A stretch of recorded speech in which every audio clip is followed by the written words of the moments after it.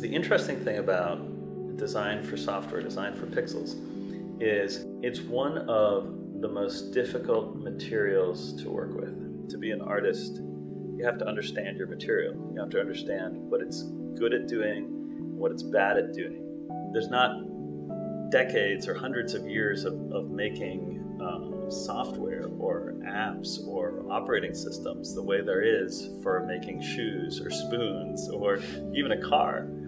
So, what is the right way to design? What is the right way to build? I've always insisted we have to keep an open mind. We're not going to know the right way to do this for decades still.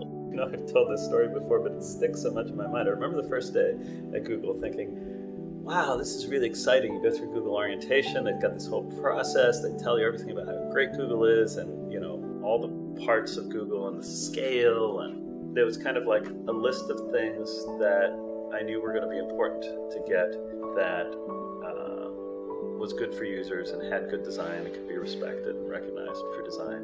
It was probably not until, what was it, Lollipop, I think, when we rolled out material design. It happened at a time when people were excited about this tech nostalgia.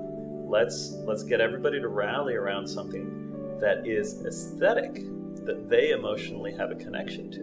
We decided, okay, let's work together. Let's go all in on this. Let's make it a project, an initiative. And so, what is it? What's its unifying idea? We need to get everybody together, and we need to figure out how to extend material design not just to the phones and, and desktops, but also to the new platforms. We are trying to represent and think about all of Google kind of provide an infrastructure and a toolkit across all of Google. The Google Design website is, is a perfect example of that. The website is run by designers from the material design team. I want to have a more humane design process and one that respects kind of the individual dignity of every person and by creating a, a, safe place for people to contribute stuff enables them to do their best work to learn faster to unlock their full potential while at the same time taking full advantage of the peers and the senior designers mastery